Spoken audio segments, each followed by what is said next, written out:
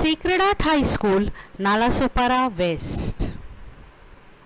Standard 4th, Subject EVS 2, History, Chapter 5, Shivaji's Education, Part 2. Hello students, I am here with you all for the continuation of chapter number 5, Shivaji's Education. Let us begin with what Veer Mata Jizabai taught Shivaji. Children, do you all know who was Jizabai? Yes, she was mother of Shivaji Maharaj. Jizabai was no ordinary woman.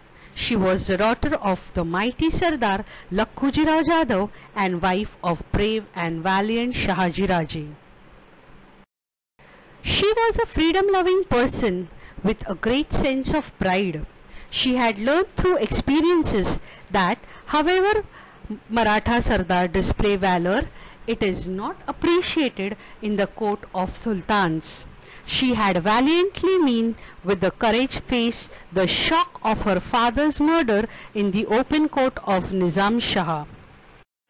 Jizabai had resolved that her son Shivaji would never be engaged in the service of others. He would establish the rule of his own people, that is Swarajya. She was, she was bringing up Shivaji with that idol. The people living in the Maval region were called Mavlas.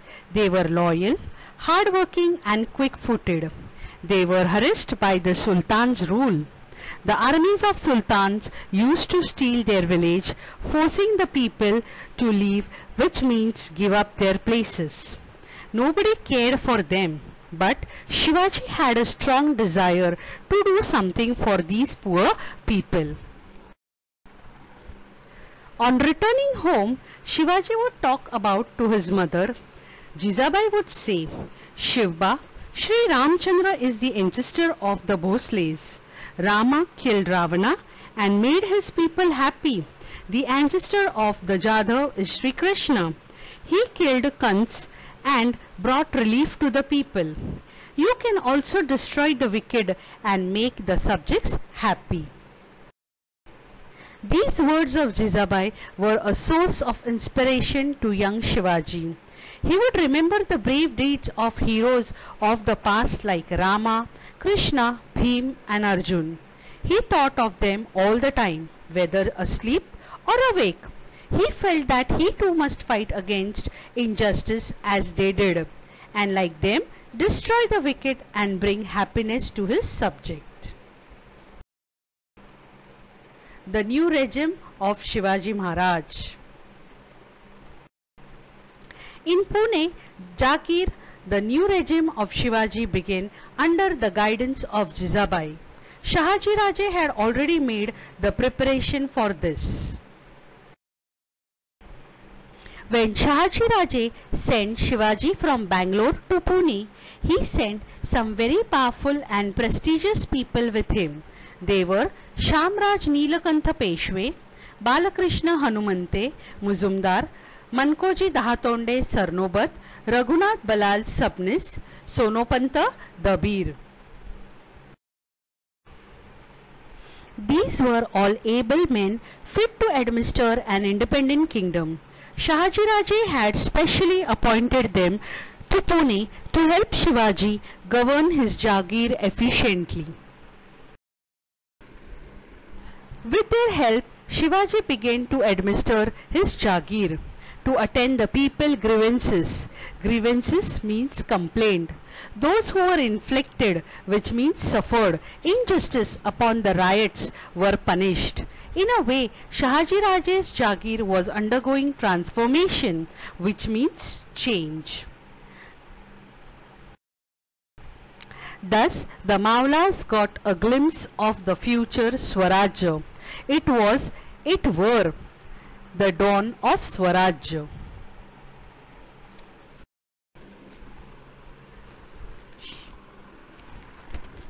Shivaji's marriage. In those days, people married at a very early age. So, Jizamata said, we should now get Shivba married. Then a search for a suitable bride for Shivba began. Soon she found the girl she wanted. Her name was Saibai. Saibai came from the Nimbalkar family of Phaltan. The marriage of Shivaji Maharaj and Saibai was celebrated with a great pomp.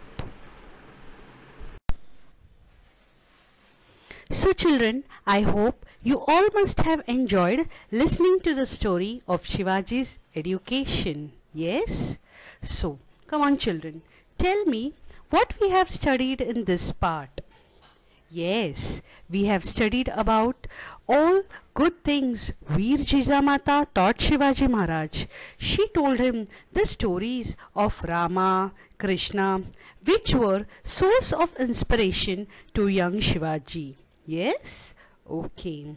We also studied the new regime of Shivaji Maharaj. And last but not the least, we have also studied about Shivaji's marriage. You all remember, no? Who, Shivaji got married to whom? Yes, Shivaji Maharaj got married to Saibai.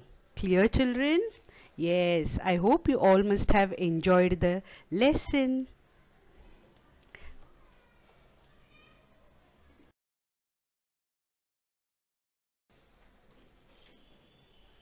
So now in the next lesson we are going to study the oath of Swarajya in which you will study how Shivaji Maharaj along with few Mavlas took oath of Swarajya in the temple of Raireshwar. Thank you.